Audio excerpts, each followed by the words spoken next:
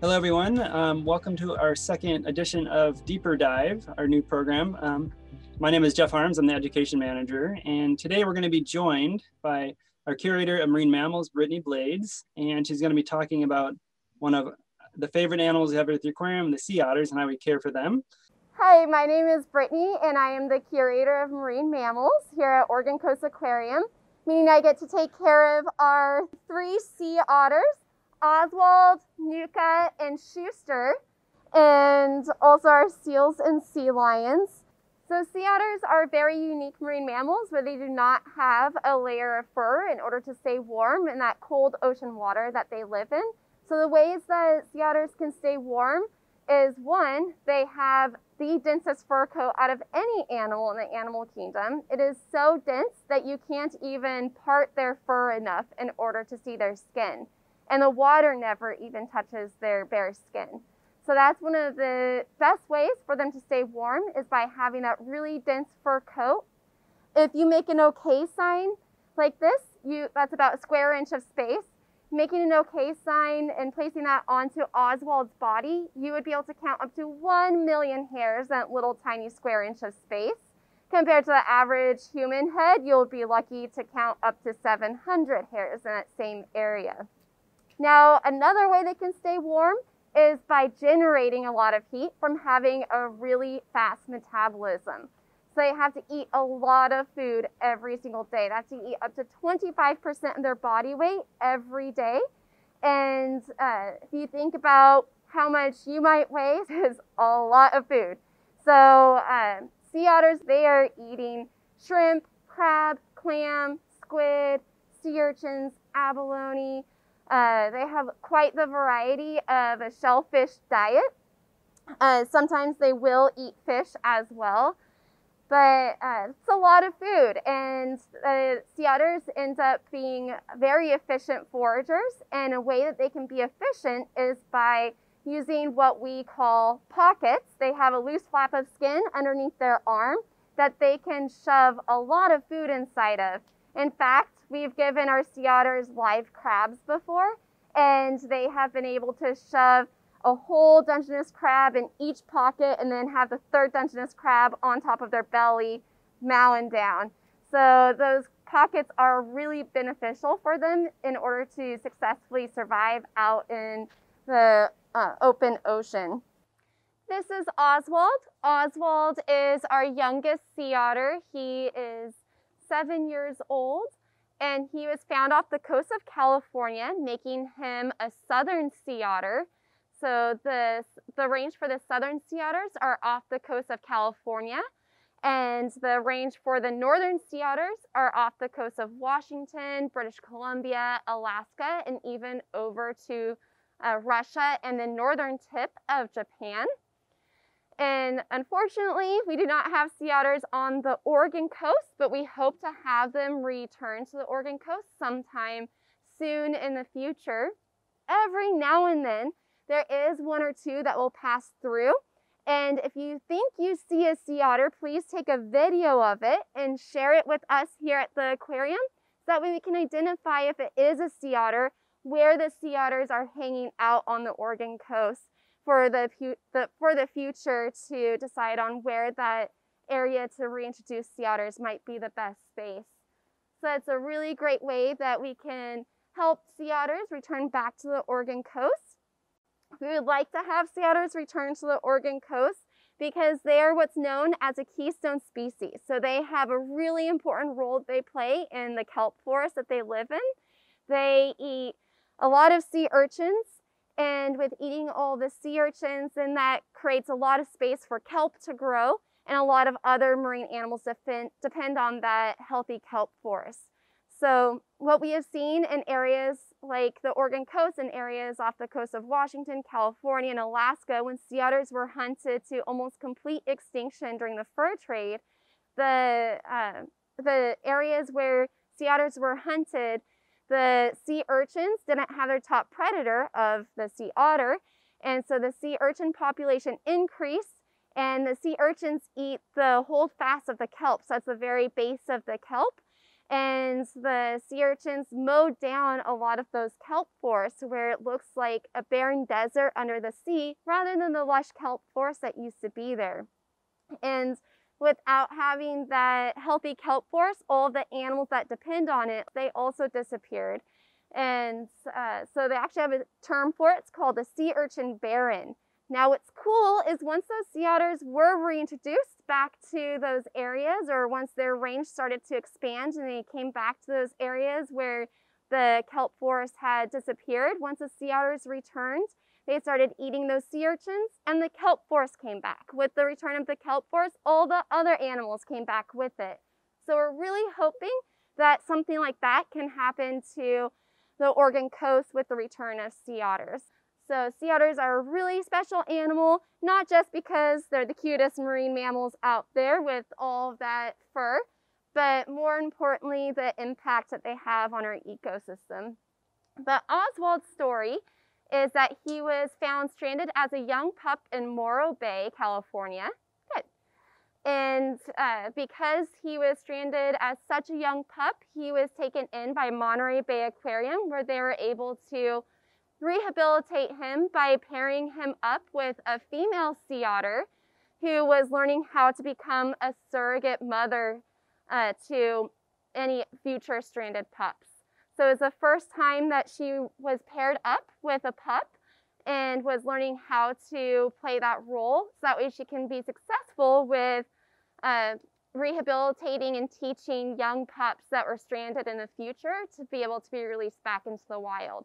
Oswald because he was a training pup for the surrogate mother sea otter. Um, he had to have direct human interaction, and that is the reason why he was not able to be released back into the wild. Now, Oswald, he has uh, been here with us since he was six months old. He came to us in 2014, and um, he has a very fun personality. He is the sea otter that is the most calm with new and different things. So that's one of the reasons why he's one of our star sea otters for different encounters like this. Now, the way that we take care of Oswald is through training him with positive reinforcement. So you see that I'm giving him quite a bit of food here and uh, one of the things, first things that we train our animals, or sea otters specifically, is just to wait calmly in the water before we ha hand them food. And they're trained to take their shrimp, crab, clam, squid, fish directly from our hands with their paws very calmly. So just like you would train your dog at home to take a treat gently, they take the shrimp gently. Once they've learned that, then we can start pairing the word good every time that they get a piece of food with them. So that way they know that that word means that there's going to be a possibility of reinforcement. So we just say good, and then they get their reinforcement. And then from there, we can start training them actual behaviors. So one of the very first behaviors then is we train them pause. So this is behavior where they focus onto the buoy here and then I can say, pause, touch. So now I can touch his entire body, make sure that he's completely healthy. Good. Um, we train them to be able to let us examine their whole bodies so that way we can check for any cuts or scrapes because they do roughhouse quite a bit, just like your dogs probably would do at home or even cats. So it's really important for their health and medical care that we're able to have them participate with it. We can also check out their paws. Paw. Good. So here you hear me say that word good to let him know he did the correct behavior there. You might also notice that sometimes we have them do fun behaviors, and that's just a great way to break up the uh, medical behaviors, which usually mean that they have to hold still for a long period of time. So fun behavior can be something like wave. Or it can even be something that's a little bit more high energy, like a hop out of the water, hop, good. Uh, we'll see if Oswald can show you how tall a sea otter is. Oswald, stand. Go boy. So sea otters are the largest of the, uh, the otter family. They're the lar largest otters out there. And they can, the northern sea otters are a bit larger than the southern sea otters. So Oswald being a southern sea otter is a little bit smaller than Nuka, our northern sea otter. But the northern sea otters can weigh up to almost 100 pounds, whereas the southern sea otters, they might average closer to around six, 60 pounds. And Oswald's a little bit smaller on the male sea otter side. He's only about 55 pounds. So right now we're giving Oswald some piles of ice. He tends to find the ice really reinforcing. Otters, they are really good, like I had mentioned earlier, they're really good at pocketing things. So we might see him pocket some of this ice. So it looks like that's what he's doing right now. And then he's going to hold that ice inside of his pocket as he walks away on his other three legs.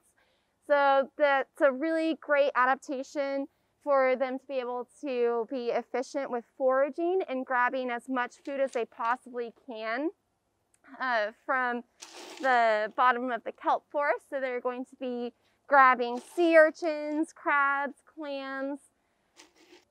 Well, I'm working really closely with Oswald. You can see that Oswald and I do have a relationship to, with each other. Uh, if you do see a sea otter out in the wild or any marine mammal out in the wild, please keep a safe distance away from them. It is illegal to approach a marine mammal. Uh, but Oswald, he's lived at the aquarium for almost his entire life. And we have the permit to be able to house sea otters here at the aquarium. So while it might seem like sea otters being the animals that have the densest fur coat out of any animal in the animal kingdom, maybe it would be, seem like they would make a good pet. Uh, they is illegal and also on top of that they have the bite force of a black bear. They have really strong jaws because they have to crack into those uh, dungeness crab claws and sea urchins. And uh, so you do not want to get too close to those teeth. Right now you can see that Oswald is grooming himself a bit and grooming is extremely important for sea otters because they need to keep that fur coat nice and clean so that way it's keeping them warm. If their fur gets oiled, then that can cause them to lose a lot of heat. So they really depend on that very dense fur coat. Sea otters spend most of their time in the water, but as you can see, they can crawl up onto land like Oswald is doing here. And they might just look a little awkward when they walk on land. They're definitely more efficient in the water than they are on land. And our sea otters, Oswald specifically, seems to really find ice reinforcing. So sometimes they'll bury their head inside of it, they'll roll around in it, or they might just grab it and uh, eat it. They like chomping on it as well. So they're used to chomping, cracking into really hard-shelled items. Oswald is also checking out probably to see if I have any other food here for him. So this window that we have here is actually something that we can utilize for veterinary procedures. So we can have multiple veterinarians looking at Oswald, checking out his eyes, his nose, his teeth, and paws.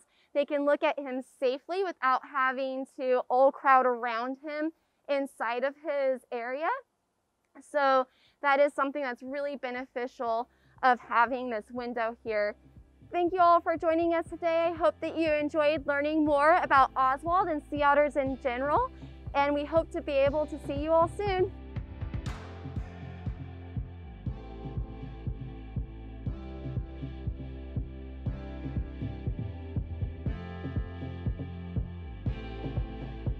So, uh, no, there are not any real physiological differences between the northern and southern. Really, the main difference is just their size.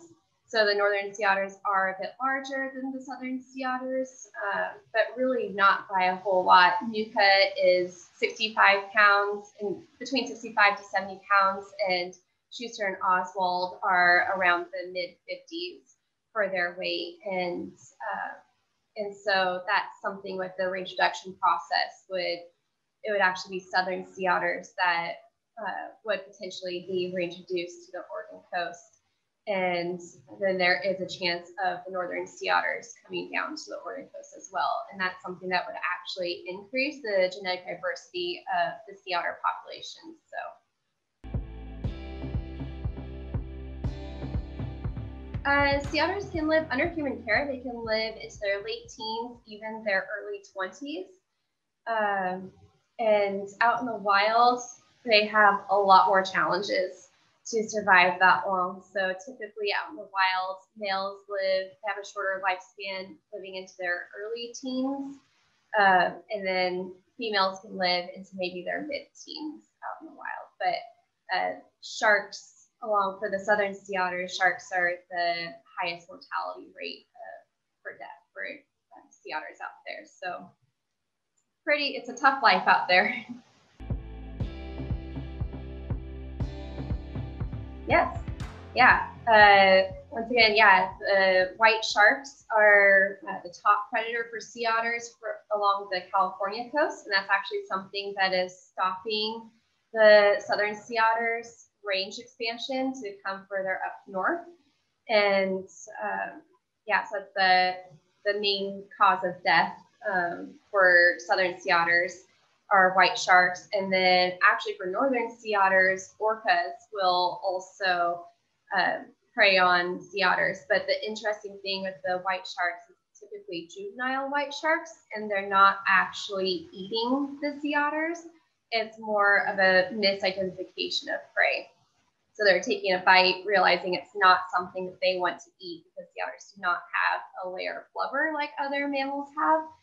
Uh, and then they just leave them. So that's a lot of the otters that end up stranded are sometimes it's due from a shark bite. Uh, and then orcas, uh, it's kind of the same thing. There's not a lot of caloric value of orcas eating otters. It might just be um, not really sure exactly why the orcas are hunting them, but that is uh, their other predator out there.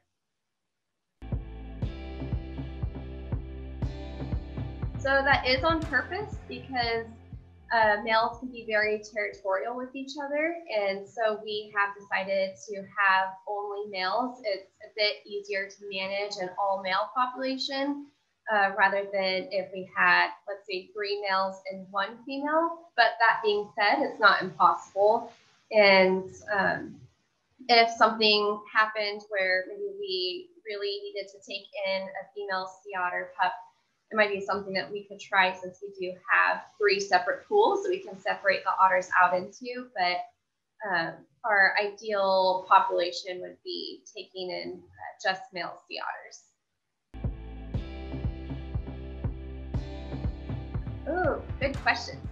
Uh, his favorite food are Tillamook Bay clams. So we have some local local clammers who um, Oswald just decides that that's uh, his favorite type of clam that he prefers. Uh, so it's pretty fun that he supports a local business.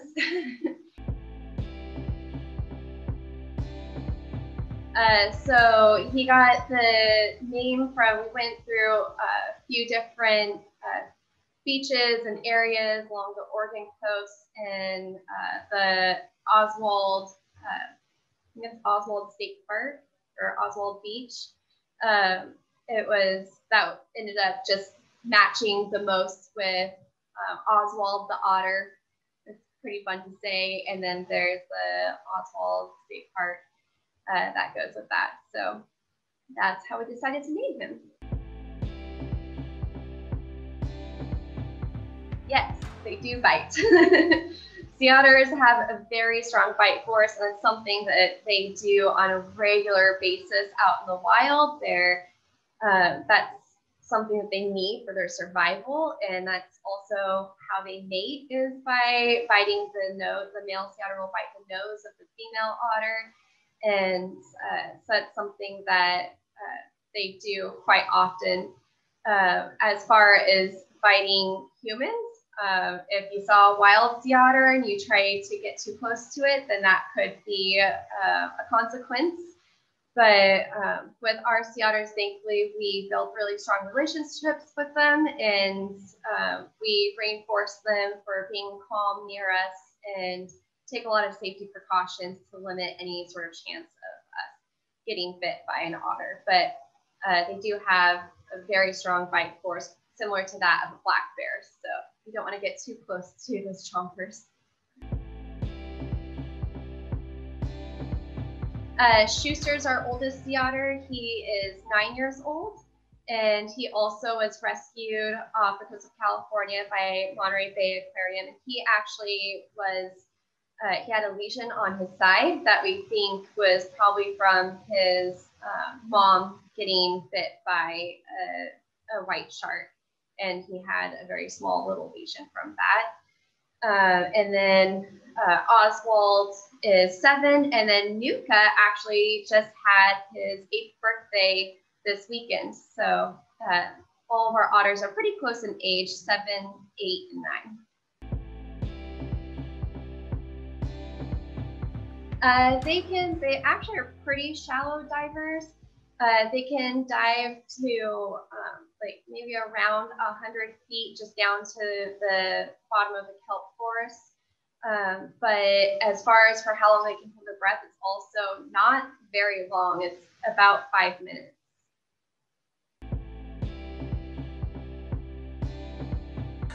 Uh, yeah, they they can be pretty temperamental. I I tend to compare them a little bit more cat-like versus dog-like. So I always say that the sea otters are a little bit more temperamental like a cat versus pinnipeds, seals, and sea lions are a little bit more like a dog. So with the sea otters, you can be touching them for a bit and they're totally fine with it. And then all of a sudden, this is a trained behavior, but then all of a sudden they're not okay with it and they'll let you know. Um, compared to the sea lions and seals, sometimes they'll actually seek out more of that behavior and um, they give you a little bit more of a warning than what a sea otter would. Uh, yeah, so there are some plans. There's a feasibility study going on right now that the Elakha Alliance is uh, is uh, funding and going through, and um, so the feasibility study is just to see if it is actually scientifically feasible to introduce sea otters back to the Oregon coast. And um, and it's making a lot of headway. So we're not really sure exactly what that will look like. It should be concluded uh, within the next year. So be able to give a more solid answer to that. But there are some motions right now, really big motions to uh, reintroduction effort of sea otters to the Oregon coast.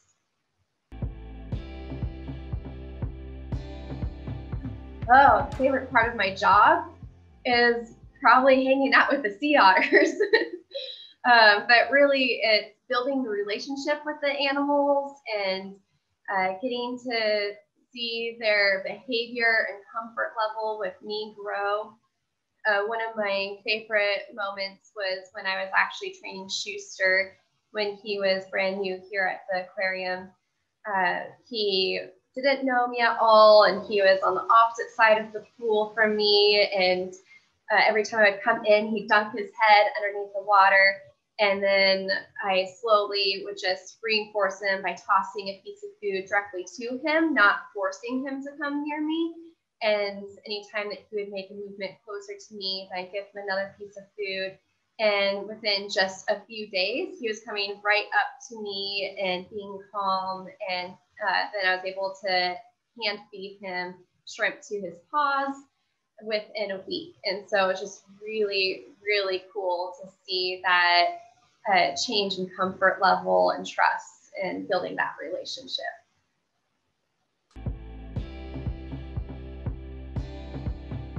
They typically will have just one pup at a time. It is not impossible for them to have two pups, but it is, I think it's unheard of two pups actually surviving. Uh, there is, that's actually one of the other um, high rates of mortality for sea otters is, uh, is sea otter moms and pups not having enough nutrition in order for them both to survive. So uh, if you imagine a sea otter mom, she's having to feed herself at least 25% of her body weight every day to just maintain. And then she also has to feed that pup even more uh, food. And so it's a lot of energy that is wasted. But um, yeah.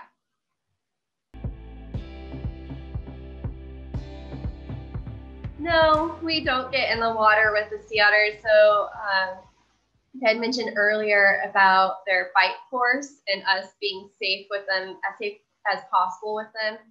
Uh, we uh, want to take away that risk of being in the water with them.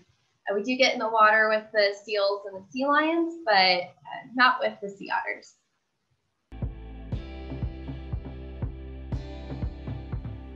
Oh, that's a good question.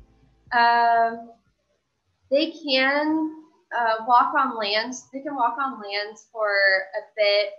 Uh, I wouldn't say very far though. Um, that was onshore, right? Yeah, like how far? Yeah. Yeah, on land. Um, so they can probably, this is just using my best educated guess. I don't know the exact number of the distance, but uh, I would say probably at least they could probably go a quarter of a mile on land, but that would be pretty rare. They are definitely awkward on land.